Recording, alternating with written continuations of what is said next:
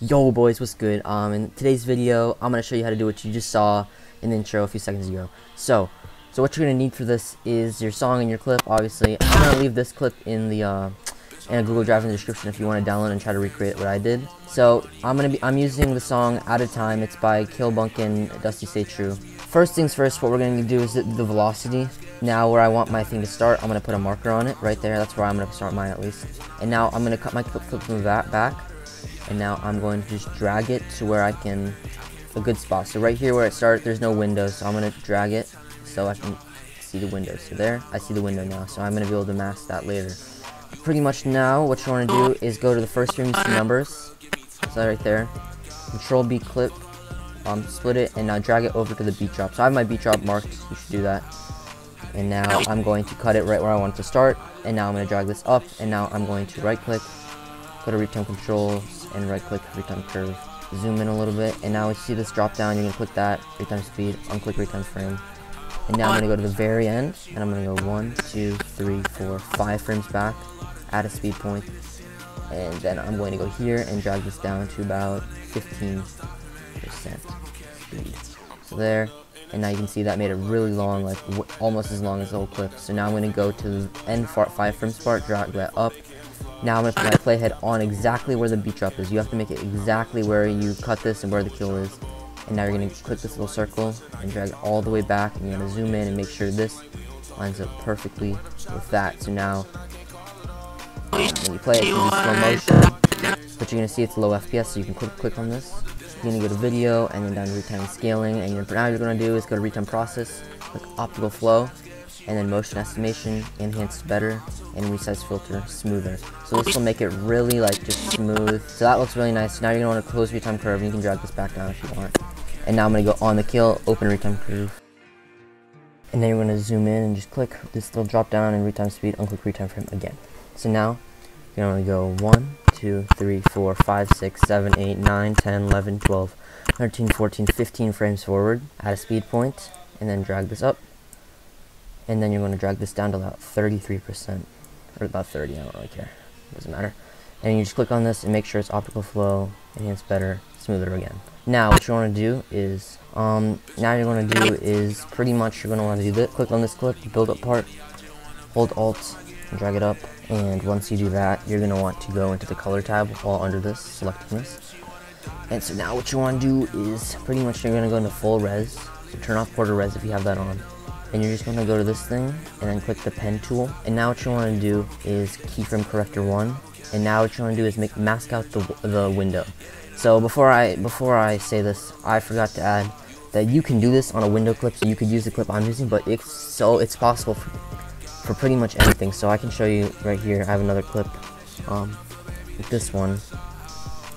Um, here you can like do it across the windows, like you do that, or you can just do around the character, around any type of edit. To be honest, you can do it around the, around the enemy character, anything. So you can try with anything. It doesn't have to just be a window keyframe corrector one, and now you're just going to pretty much make a perfect mask of the window. So you're to have to want to zoom in and just perfectly mask it.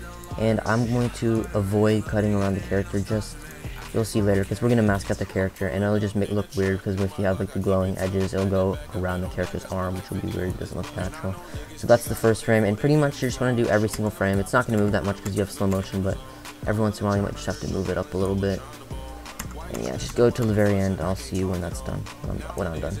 Alright, and now you just want to come to this grid right here, right click and add alpha output and connect this black square to this blue circle. And that'll just pretty much make the mask um, complete pretty much. And so now what you're going to want to do is come over to this clip where you cut out the window, right click on it, and make it a compound clip. So by doing that, right click, new compound clip. You can name it anything you want. I'm just going to make the compound clip one. And that you can see right there, that's cut out the window. So now what you're to want to do is you're going to want to type in on your search bar Ecto and now what you're going to need for this is universe plugins so I'm going to leave a tutorial in the description on how to get them so it's totally fine you just follow that tutorial and you'll get the plugins so they're pretty much as you can see if you drag Uni Ecto over the clip it'll make it kind of the fire looking thing but now before we change any settings as you can see there's a bit of a problem there. You can see like the character's arms kind of cut off. So now what you want to do is click on this, the clip at the very bottom, the slow-mo, hold Alt on it and drag it another copy up above the window. So now what you want to do is go into that in the color tab. Now what you're going to want to do is click on that, click on the pen tool and make the softness about 5 and you're just going to keyframe corrector 1 and right click, add alpha output, connect the black square to the blue circle and you have to do all of this before masking. Please trust me, it'll mess up completely if you don't do all this before masking. So now what you want to do is just mask the character. I know before I've said like this is not the easiest way to do it, but if you just do like kind of a rough job, it still looks pretty fine. So you can do this. It'll take maybe five, ten minutes. If you don't want to, you can just add a circle, but I recommend doing the mask. Or you can just don't have to mask the character at all if you're fine with if your clip or just you, you're fine with the arm getting cut out or if your clip your character's not in the way of the window, you can just do that and you can skip. Alright, so I finally finished. That took a little longer than I thought it would. So yeah, I I mean you could do it, but like don't put as many don't put as many dots. Like I put like a million dots here, and that screwed me over big time. Like don't put a ton of dots. Like just try to keep it a, a small amount. Look how many I started with. Look how many I ended with. But now what you want to do is go back in the edit edit tab, and just to show you the mask, I'll disable. This is the mask I have. It's got a softness on it. Now we're going to do a skin glow, but first off, I'm going to, just gonna, this clip on the bottom part, I'm just going to make the opacity 11, 12, around there, just so it's dark so we can see everything.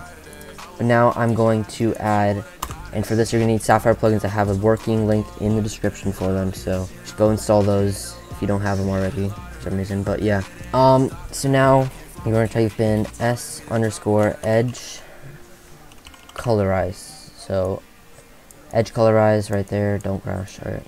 Drag that on top. It's gonna make it look really ugly at first, I guarantee. Now this is where you're gonna want to choose your color. So I'm gonna I'm gonna I'm gonna go with blue again. So I'm gonna do like a baby blue, light blue, sky blue, whatever you want to call it. So I'm gonna make just all this light blue. So there, that's that's the glow.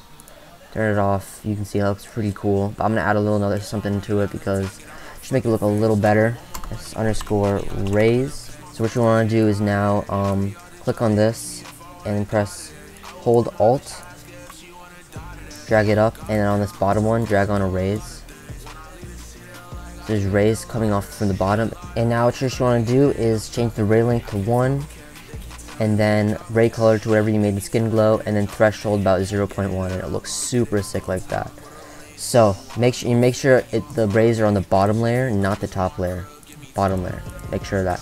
Alright, so now what you're going to want to do is go back to the, the, the window, and you're just going to want to make sure both of them are the color of your skin glow, so just make it a little lighter, maybe make it a little darker, because we're making that lighter, kind of. So there, and I'm going to make the distortion 25, and then we'll make the glow intensity probably about 1, and the size, size maybe around 35, right around there. Alright, so now what you're going to do is pretty much select these three, and you're going to compound clip them, so new compound clip create, and you're just going to want to make it fade in for 10 frames, so 1, 2, 3, 4, 5, 6, 7, 8, 9, 10, drag it in, and then you're going to go to this one with opacity, at the very beginning, keyframe it, make it 100, and then go 10 frames in, and you're going to make it 10, and so that's just so it, it kind of fades in this effect. I'm going to have some presets in the description with the tutorial on how to import them. You're just going to drag on the dissolve shake first, the dissolve shake. Click on it at the very beginning. The keyframes kind of are messed up all the time, so at the beginning make it 0, and at the very end make it about 0.7. Flicker, flicker build up, drag that on. And make sure at the very beginning it's keyframed at 0, and at the very end it is getting its keyframe at 0 and at the end it is keyframed at about 0.5. You're going to want to have an impact obviously so drag on the hard tilt impact all caps. Drag that on. That'll already be keyframed for you. It's a really good shake like that and now you're going to want to go and drag on 150 saturation on kill. Drag that on and make it fade out through the back. Now lastly for the effects on the kill flicker, drag on the flipper, clicker and you can just make it fade out. You're going to want to drag on some sound effects. So now I'm going to drag on high quality pump sound effect. This is all in the description. And now you're going to want to drag on sound 7 on the kill, kind of line it up like this right there. And then make the volume negative 5. And now you're just going to drag on the God Build Up sound effect. Uh, I'll link this in the description too. And you're to sync that up. And now you're to want to make sure on the kill synced up and then go 10 frames from the kill. So 1, 2, 3, 4, 5, 6, 7, 8, 9, 10. Split.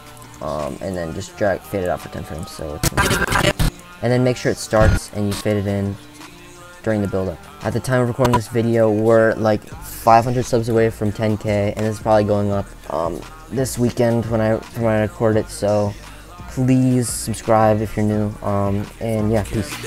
I'm pulling up in a truck, no my Glock, I keep it tough. Back to back, I've been on black, I spent like